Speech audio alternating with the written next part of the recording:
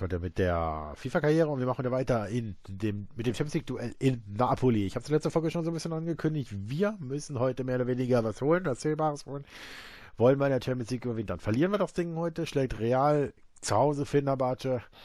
Dann ist das Thema gegessen. Der hätte Real 10. Für Napoli hätte 7. Wir hätten 3. Dann wären es 4 Punkte Rückschau, weil noch zwei ausstehende Spiele. Und wir haben noch das schwere Auswärtsspiel in Madrid. Und das Heimspiel gegen Fener danach. Aber jetzt erstmal gucken. Napoli im Hinspiel hatten wir sie fast. Fast, fast, fast. Da war es ein bisschen individuelle Klasse. Gut, Pereira, das haben wir eben schon haben Ende der letzten Folge schon gesehen, dass der weg ist. Der wechselt nach Al ein oder so, glaube ich, hieß Ist egal. Jacke wie Hose, er wechselt. Aber es ist für uns jetzt relativ irrelevant. Wir müssen heute jetzt erstmal schauen, dass wir jetzt erstmal Napoli irgendwie versuchen zu schlagen. Vielleicht schaffen wir es. Ich gehe nicht in die Pressekonferenz. Ich möchte sie nicht. Interessiert mich gerade herzlich wenig. Ich möchte in das Spiel. Ich möchte irgendwie gucken, was wir machen. Wir werden mit ähm, ein bisschen rotieren. Irgendwie, wie auch immer.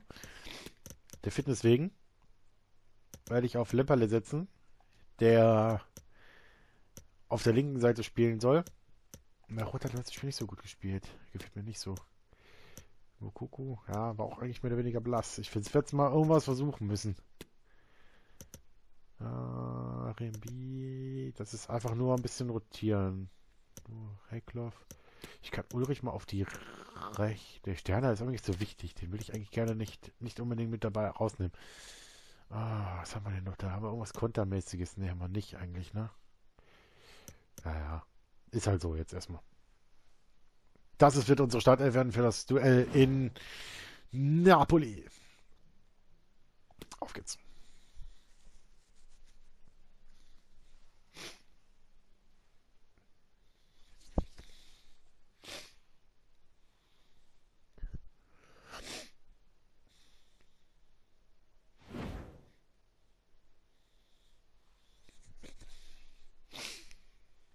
So, dauert jetzt wieder einen kleinen Moment.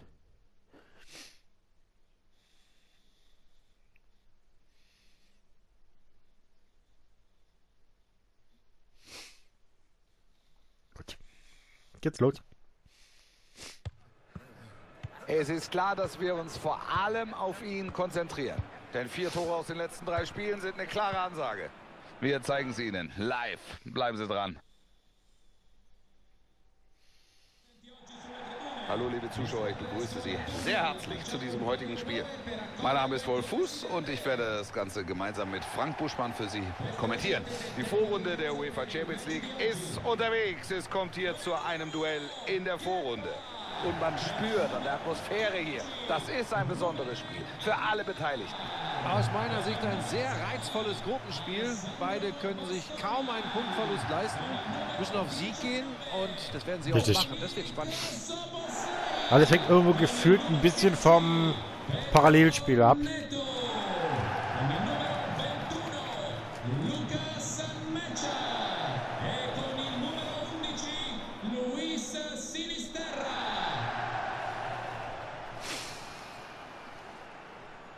Ja, schauen wir mal, ne? Wie gesagt, ob heute irgendwas mit so Zählbares drin ist. Das kann natürlich auch ganz bitter der Abend werden. Wie gesagt, Hinspiel war es 2 zu 3 zu Hause verloren. Sogar nach Führung, glaube ich, meines Wissens. Ich habe 1 so geführt und dann 3-1 hinten gelegt und dann 3-2. Vielleicht nochmal dran gewesen. Ja. Mal schauen. Mal schauen. Vielleicht schaffen wir auch einen frühen 1. So tritt der Gastgeber in dieser heutigen Partie an. Sie wählen ein konventionelles 4-3-3, Eine Taktik, die ich sehr mag, führt oft zu spektakulären, torreichen Partien. Ich glaube, gefühlt haben sie nicht wirklich was. Elbeck Alistair, der Argentinier. Ja, er ist tatsächlich Argentinier. Weltmeister, den kennt man natürlich von der Fußballweltmeisterschaft. Da ist schon ordentlich Potenzial dahinter in dieser Truppe. Definitiv. Vom Gefühl her deutlich besser als wir natürlich, klar. Also das heißt nicht vom Gefühl, es ist wirklich so. Von der Qualität her deutlich besser als wir. Mal schauen. Bei Ihnen sehen wir heute ein 4-4-2 mit Raute. Und entsprechend wird der offensive Mittelfeldspieler die Stürmer vorne natürlich verstärkt unterstützen. Ich finde, das ist, äh, so wie sich da darstellt, eine variable Aufstellung. Hm. Schaut, was soll passieren. Wir müssen, man muss ein bisschen rotieren. Ich setze ein bisschen auf Konter. Mal schauen, was machbar ist. Und dann schauen wir mal, was in Napoli Damit heute möglich ist. Wir haben natürlich alles noch der eingegangen. Mit dem Sieg wäre es tatsächlich wieder 45 Minuten. drin. Dann wäre tatsächlich der, wäre der Weg.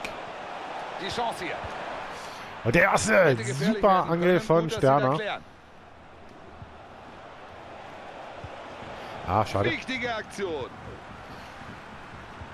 Und dann hat man plötzlich so ein bisschen die erste. Schade. Der Ball ist draußen, es gibt Situation. Einwurf. Schoboschlei. Vorbei, du. Wenn man sich so umhört, wer heute der wichtigste Spieler sein könnte, dann fällt natürlich immer wieder dieser Name. Was erwartest du heute? Naja, der ist im Abschluss immer wieder überragend. Da muss die Abwehr schon aufpassen. Hinten stehen sie kompakt, aber kommt der jetzt vielleicht durch? Und die erste Chance für Napoli. Natürlich. Piri. Schömert. Moriba.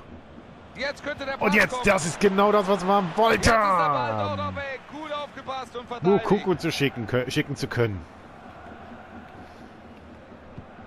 Klar, gegen Darmstadt vier Tore gemacht, im letzten Spiel ein bisschen abgetaucht. Mal gucken, was Gute heute Aktion. passiert. Weg gesagt. Ja, das ist dann doch harmlos. Ja, sowas müssen sie konsequenter spielen. Nee, ich glaube, wir haben früh hinten gelegen. Ich habe es echt nicht mehr im Kopf, muss ich gerade zugeben. Da Das war zu offensichtlich. McAllister. Lukas Mecha. Mecha. Jetzt gibt's hier vielleicht die Chance. Dass keiner, der mitläuft. Mercha! Meine Fresse, da dreht er sich da hinten noch rein. Distanz ist kurz, kaum Platz. Ist ihm völlig wurscht. Ball ist drin. Boah, den hatte ich irgendwie vorbeigeguckt. Ich hoffe, dass vorbei, dass der vorbeigeht oder so. Nee, der, geht, der dreht sich dann irgendwie doch nochmal so richtig Da ekelhaft hinten ins da Netz. kommt der Lupfer. Hier sehen wir es nochmal schön in der Wiederholung. Das ist ein sehenswertes Tor. Nochmal keine Chance. Und damit haben wir den ersten Treffer. Jetzt 20. könnte Minute. richtig Fahrt aufnehmen. Also, eine Matcher mit dem 1-0 für Neapel. Dribbling nach innen. Und er hat den Ball. Ich hatte gehofft, dass ich noch spielen kann, den quer rüberlegen kann. Also, es funktioniert schon mal bei die Außen. Gut geklärt, aber Einwurf. Einwurf für Napoli. Schoboschlei. Kann sich lösen. Es tut weh natürlich, dieses, dieser Rückstand. Weil der mehr oder weniger aus dem Nichts ist. Matcher.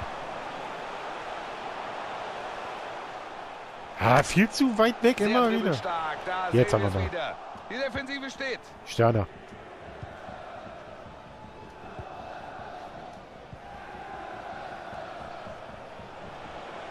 Ja, jetzt mal Mokoko.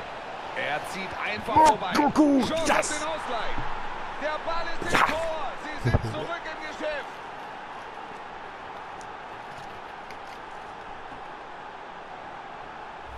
Deswegen ist, hat er den Vorzug vor der... Erst zieht Noah. er an seinem Mann vorbei und dann kommt dieser harte Ball aus der Halbdistanz. Das ist wunderbar getroffen, das ist eine tolle Technik. 1-1. Drin ist der Ball unhaltbar. Nach einer guten halben Stunde. Den Führungstreffer von Napoli gekontert erstmal. Kepa ohne jede Chance. Der Ball ist drin. Wir sind wieder da. Sie haben ja also den Ausgleich 31.. geschafft. 1-1. Ja, aber sag ja, das irgendwann mal geht so ein Ding, kommt so ein Ding mal durch. Der hat ja schon den Ansatz gehabt am Anfang. Oh, Neto, jetzt muss er ein bisschen aufpassen. Mecha. Nature, bitte nicht jetzt nicht irgendwie nochmal so was probieren. Viel Vorwärtsdrang jetzt. Ah. Da könnte was entstehen. Und Worüber? so wird das nix. Den hält Und das diese Tor Nach natürlich. dieses Grätschen. Sollte man lassen. Chance, nicht, dass da irgendwie ein blöder Elfmeter fällt. Das war in dieser München genauso einer. Eine klare Chance, die war eigentlich Ja, geklärt. keine gute Befreiung hier.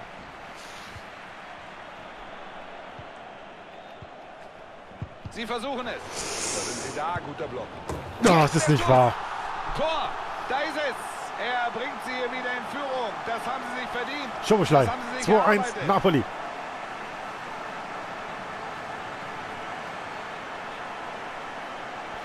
Statt jetzt ist Platz 2 definitiv weg.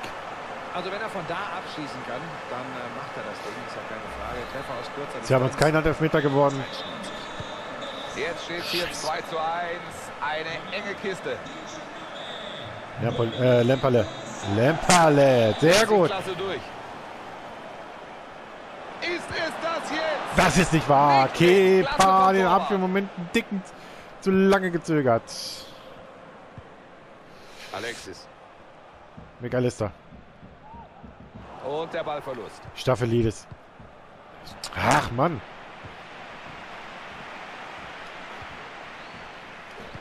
Super. Es gibt eine Minute Nachspielzeit. Könnte der Ausgleich werden. Scheiße. Der muss da drin sein. Das ist nicht wahr. Ja, wir kriegen immer diese Nadelstiche. Wir kriegen es auch nicht zu Ende gespielt. Durchgang. Jetzt ist erstmal Durchatmen angesagt.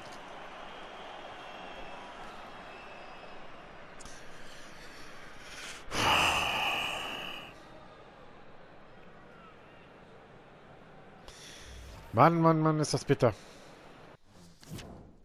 Das wäre jetzt die dritte Niederlage in der Champions League in Folge. Gut, wir sind der absolut krasse Außenseiter dieser Gruppe, muss man einfach so sehen. Wie gesagt, es war von Anfang an irgendwo klar, aber es ist bitter. Aber egal, mal gucken, was in der zweiten Halbzeit noch passiert.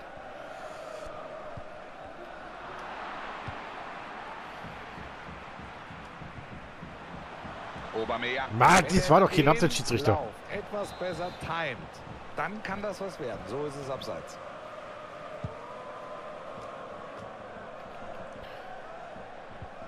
Sambo Anguisa. Sie gehen dazwischen. Schöne Aktion. Steilpass. Gute Aktion. Guck, yes! Ist drin. Es steht 2-2.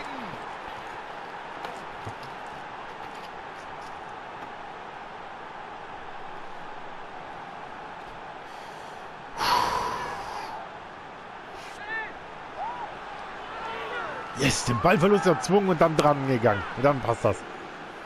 Auswärtsführung. So, Äh, schauen 2-2, uns die Entschuldigung. Wiederholung dieser Szene nochmal an. Erst kommt der Pass und dann dieses Tor, den Ball einfach reingehämmert und da gibt es nichts mehr. zu Andrade mit der Vorlage. Das ist doch genau das, was Yusufa wir sehen wollen. Ein enges Match und Jedenfalls jetzt mit dem Doppelpack. wieder einen ausgeglichenen Spielstand. 53. Vielleicht nochmal. Guter Hat Einsatz, die- Ball ist erstmal wieder weg.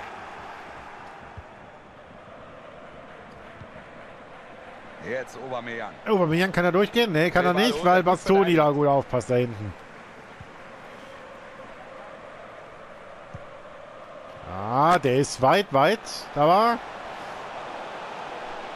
Neto, den hat er noch. Abwehr muss aufpassen. Oh, gutes Gute Ding. Parade. Da hält er diesen Ball. Wir hören es, die Fans hoffen auf die Führung. Na, bitte nicht schon wieder, ey. Also, ich weiß nicht, wie oft ich einen Führungstreffer egalisieren kann. Er zieht ab.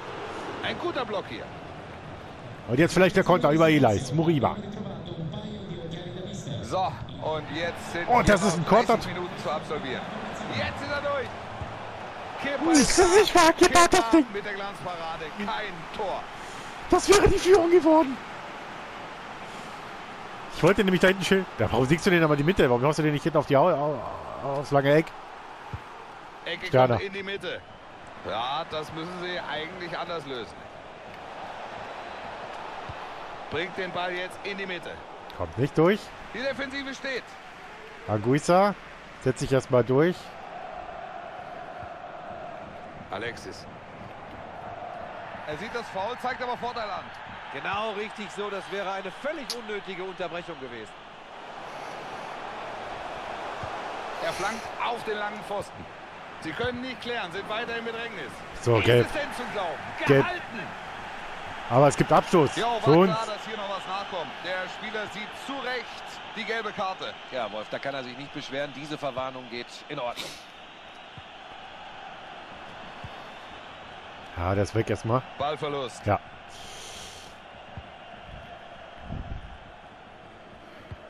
Rossi. Lukas Meja. Jetzt wäre der Platz auf Außen da. Das macht er sehr gut.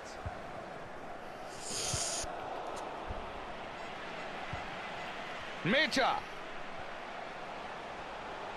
Meja, ja. Jetzt kann es eng werden. Ballgewinn durch dieses Happy. frühe Stören. Viel Platz für den Konter jetzt. Yusufa Mokoko, vielleicht auch noch irgendwie mit der dieser Szene? faustdicken Überraschung. Mokoko, der ist weg. Da war er dran. Der Keeper holt sich diesen Ball.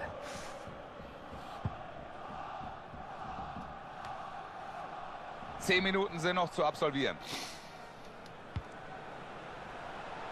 Sie schalten auf Angriff um. Das ist wohl die letzte Chance, hier doch noch als Sieger vom Platz zu gehen.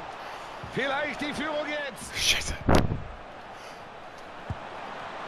Es. Ja, sie gehen hier in Führung. Das kurz vor Schluss ganz wichtig. Puh. 3-2.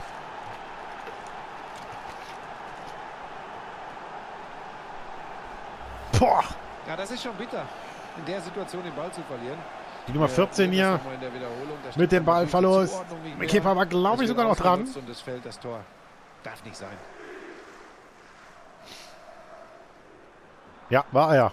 Egal, der Ball ist drin. Wir führen 3 zu 2 in Neapel, in Neapel uns wieder voll in der Nummer drin. Ums Weiterkommen.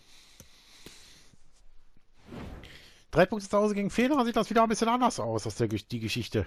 Aber mal gucken, wie gesagt, es ist noch nichts passiert. Es ist noch nichts passiert. Wir müssen das Ding irgendwie nach Hause fahren heute. Jetzt.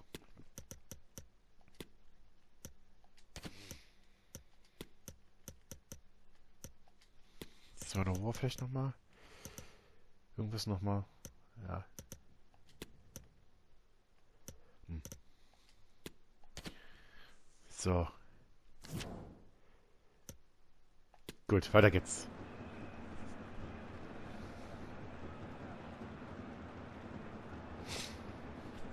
So, jetzt noch mal irgendwie ein bisschen wechseln. Fünf Minuten, sechs Minuten noch vielleicht. Bisschen Nachspielzeit, sieben, acht vielleicht noch mal. Ist das die Entscheidung, Buschi? Sieht ganz danach aus, Wolf. In wenigen Minuten ist hier Schluss. Und sie haben die Führung. Nehmen die Schiri Wird hier abpfeifen. nochmal gefährlich. Sie wollen unbedingt den Ausgleich. Gute Chance jetzt. Palacios. Erstmal ist er weg. Erstmal ist er weg. Kein Problem für den Torwart. Nichts wirklich Gefährliches rausgekommen aus der Nummer.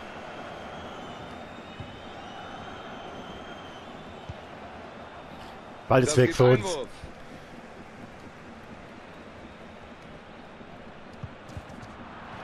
Silvera nochmal Einwurf Bayreuth.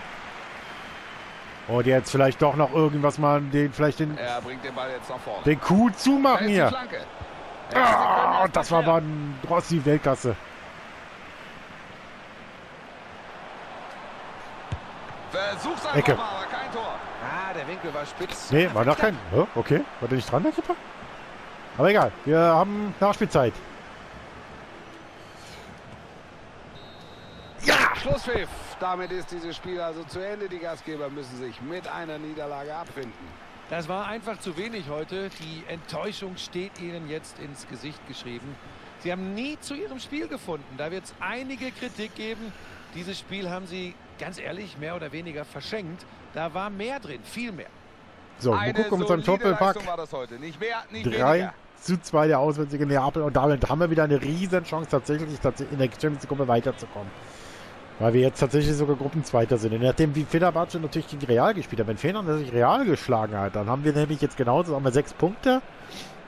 Real 7 und Napoli hat 4. Und Fener hat nämlich dann auch 4. Dann ist das eine ganz kuschelige Ecke. Aber ich glaube nicht, dass. Warte mal. Ah, die spielen noch, ne? PS PSG gegen Feyenoord 2 zu 2. Ja, das Interview wollte ich eigentlich jetzt nicht, aber gibt jetzt natürlich mal nach diesem Triumph in Uh, just a moment of your time. Neapel diesen.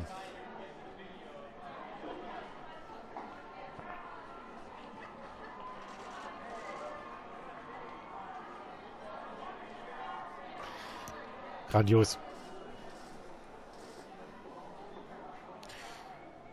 Ja, meiner Meinung nach einer der schwereren Gegner in der Gruppe. Den schwersten Gegner in der Gruppe auswärts geschlagen.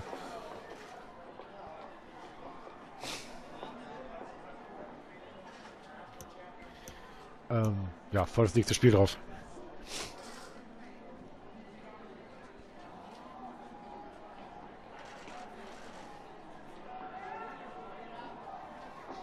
Ja, ein paar Umstellungen einfach mal gemacht. Vielleicht, die haben gefruchtet.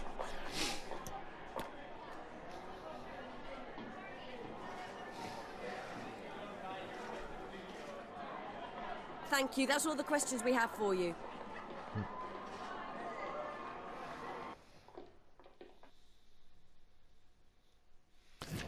So, gut. Nächster Gegner ist Fortuna Düsseldorf. Ich muss jetzt tatsächlich mal auf die Tabelle achten, weil ich weiß nicht, wie weit jetzt nicht. Moment. Ähm, vorher noch schnell auf die Tabelle Wettbewerb. Ja, Champions League. Ja, wir sind Zweiter. Und Real hat tatsächlich verloren gegen Fener. Ja? Ich sag ja, so auf einmal, kann die so eine Gruppe, die eigentlich fast eindeutig ist, weil Real hatte ich gedacht, vielleicht Fener, erschlagen die Fener. Das war eigentlich damit ausgegangen, dass die nicht nichts wirklich, das Fener nichts geholt gegen Real, nämlich verloren beide Spiele. Nö, sie holen vier Punkte gegen Real und äh, wir sind wieder dabei. Es ist alles möglich. Wir haben den nächsten Gegner auswärts Real. Nee, Quatsch, Fener zu Hause. Real spielt gegen Napoli. Lass die mal unentschieden spielen, dann sind wir Gruppenerster und dann haben wir beim Abschlussspiel in Madrid haben wir tatsächlich die Chance, das Ding sogar noch zu gewinnen. Haben, vielleicht, irgendwie, keine Ahnung. Ups, das war jetzt keine Absicht. Ähm, ich hätte gern mal auf die Champions League wieder geachtet, ja. Ich bin irgendwie komisch auf den, auf den falschen Wettbewerb gekommen, falsche Taste gekommen. Ja, ne, und äh, ja, wir könnten tatsächlich, je nachdem, wie die nächste Partie ausgeht, wie gesagt, gut, Gehen wir einfach mal davon aus, wir schlagen Refena.